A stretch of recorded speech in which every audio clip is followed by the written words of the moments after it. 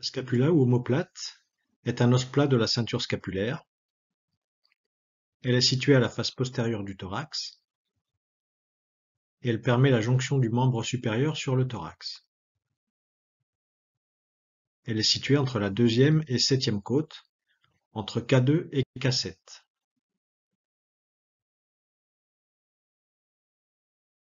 Le scapula participe à la construction de trois articulations, car elle répond en avant aux côtes de K2 à K7, formant l'articulation homo-cérato-thoracique. Elle répond également en dehors à l'humérus, l'os du bras, formant l'articulation gléno-humérale, la plus grosse articulation de l'épaule. Elle répond enfin, en haut et en dehors, à la clavicule, formant l'articulation acromioclaviculaire.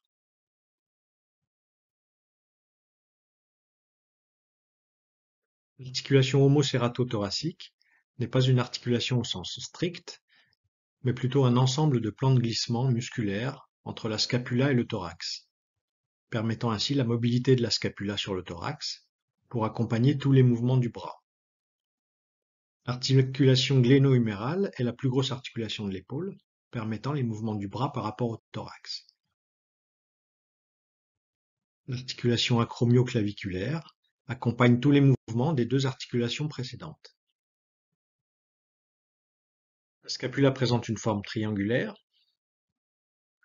et nous pouvons lui décrire une face antérieure et une face postérieure. Elle présente trois bords, un bord médial, un bord latéral et un bord supérieur.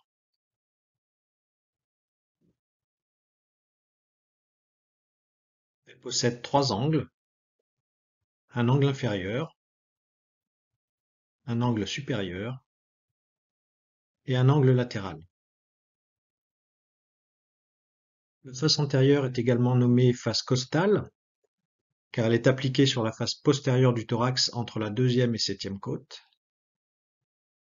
Sur cette face antérieure, nous trouvons la fosse subscapulaire, cette fosse subscapulaire contient l'insertion du muscle subscapulaire et le long du bord médial, nous trouvons l'insertion du muscle dentelé antérieur, qui s'appelle également muscle serratus antérieur. Nous voyons ici une représentation de ces deux muscles, subscapulaire et dentelé antérieur. Le muscle subscapulaire est rotateur médial du bras, le muscle dentelé antérieur est abducteur de la scapula. Il permet donc d'éloigner la scapula de l'axe rachidien, mais aussi de stabiliser la scapula contre le thorax. Ces deux muscles participent au plan de glissement de l'articulation homo-cérato-thoracique, permettant tous les glissements de la scapula sur le thorax pour accompagner les mouvements de l'épaule.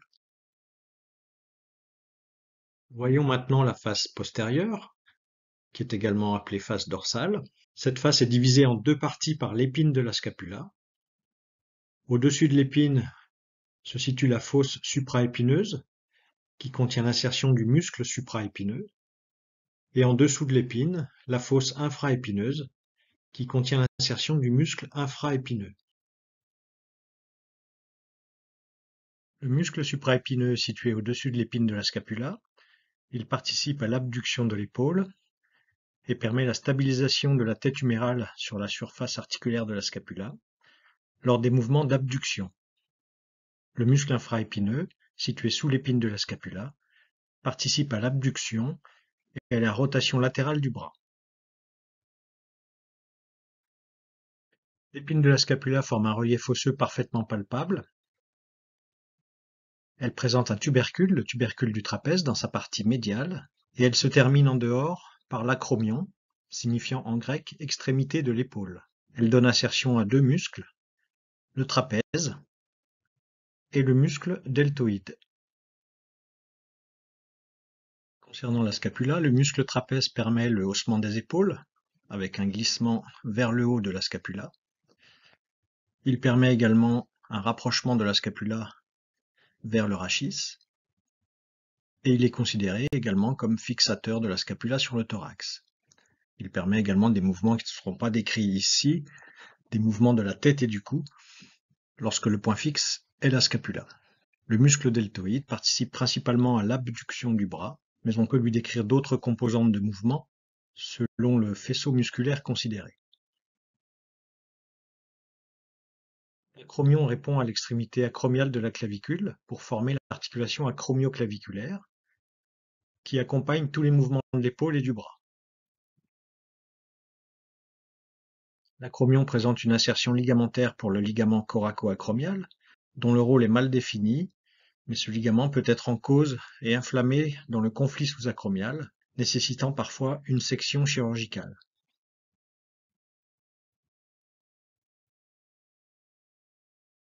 Le bord latéral de la scapula présente dans sa partie supérieure une zone large qui reçoit la tête humérale, c'est la cavité glénoïdale, et en dessous de cette cavité glénoïdale, nous avons un bord plus épais, parfois nommé pilier de la scapula.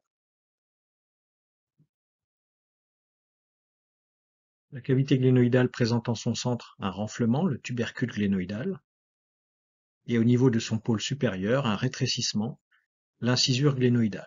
Cette cavité est recouverte de cartilage pour former l'articulation gléno-humérale, et le pourtour de la cavité glénoïdale, ici en pointillé noir, est parfois nommé limbus et donne insertion au labrum fibrocartilagineux qui permet de stabiliser la tête humérale et d'augmenter la congruence articulaire entre la scapula et la tête humérale.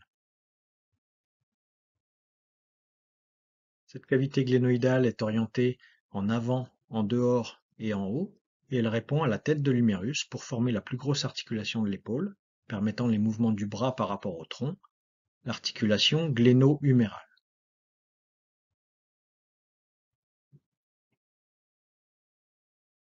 Au niveau du pourtour antérieur de la cavité glénoïdale, nous avons les insertions des ligaments antérieurs de l'épaule. Le ligament gléno-huméral supérieur, le ligament gléno-huméral moyen et le ligament gléno-huméral inférieur.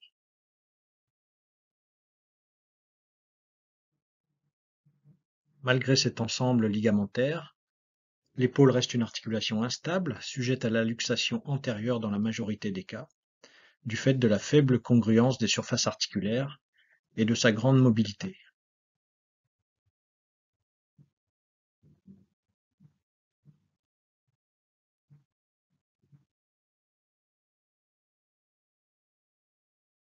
la partie inférieure du bord latéral, nous avons l'insertion de trois muscles, le muscle long triceps, le muscle petit rond et le muscle grand rond. Concernant l'insertion du muscle long triceps, certains auteurs décrivent un tubercule infraglénoïdien recevant cette insertion du long triceps. Le muscle long triceps est extenseur du coude le muscle petit rond participe principalement à la rotation externe du bras et accessoirement à l'adduction du bras. Le muscle grand rond participe principalement à l'adduction et à la rotation interne du bras.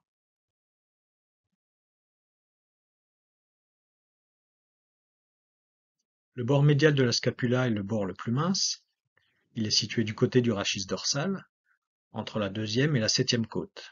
Nous y trouvons des insertions musculaires pour le muscle élévateur de la scapula, le muscle petit rhomboïde et le muscle grand rhomboïde.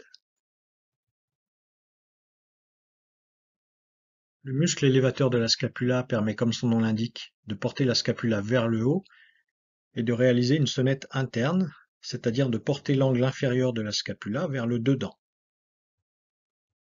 Le muscle petit rhomboïde et grand rhomboïde sont fixateurs de la scapula contre le thorax et participent à l'adduction de la scapula, c'est-à-dire son rapprochement de la colonne vertébrale.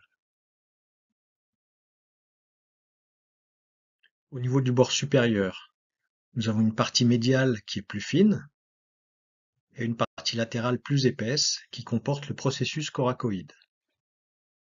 Entre les deux, l'incisure scapulaire. Nous trouvons sur ce bord supérieur l'insertion du muscle homoyoïdien qui est tendu entre la scapula et l'osioïde, ainsi que les insertions du ligament transverse qui transforme l'incisure scapulaire en tunnel ostéofibreux par lequel transite le nerf suprascapulaire. Le muscle homoyoïdien est abaisseur de l'osioïde et du larynx, mais également tenseur de l'aponévrose du cou.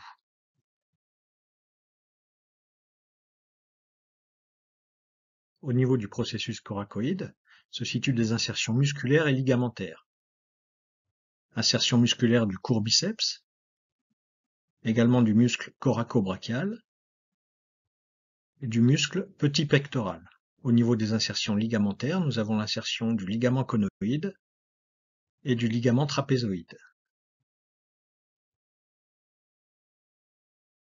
Le muscle petit pectoral est abaisseur de l'épaule et accessoirement aspirateur puisqu'il s'insère sur les côtes. Le muscle coracobrachial est adducteur et fléchisseur du bras. Les ligaments conoïdes et trapézoïdes sont stabilisateurs de la clavicule et de l'articulation acromioclaviculaire. Le court biceps est un des chefs du muscle biceps, ici en transparence, qui participe à la flexion du coude et à la supination.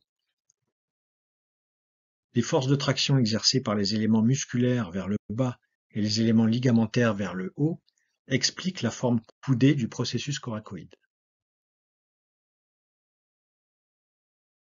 Sur la partie postérieure de la coracoïde, nous avons l'insertion de deux ligaments, le ligament coraco-acromial et le ligament coraco-huméral.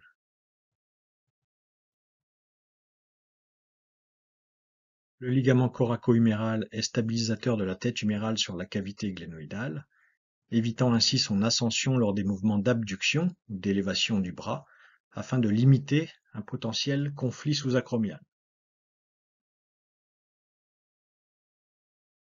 Au niveau du pôle supérieur de la cavité glénoïdale, sur ce bord supérieur de la scapula, nous avons l'insertion du muscle lombiceps.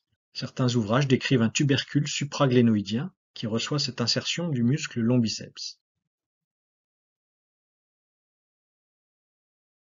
Le muscle long biceps est un des chefs constituant le muscle biceps, signifiant deux chefs, donc deux corps musculaires. Il participe à la flexion du coude et à la supination de l'avant-bras. Il nous reste à décrire les trois angles de la scapula. Commençons ici par l'angle latéral.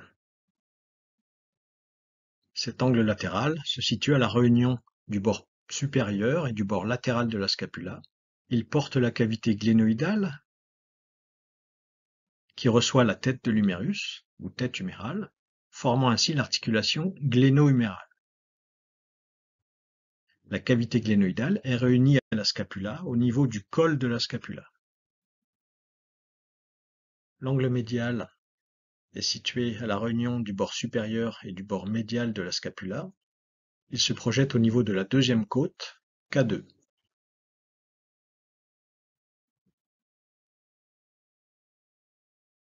L'angle inférieur est à la réunion des bords latéral et médial de la scapula. Il se projette au niveau de la septième côte, ou K7, et présente une insertion inconstante, l'insertion du muscle grand dorsal.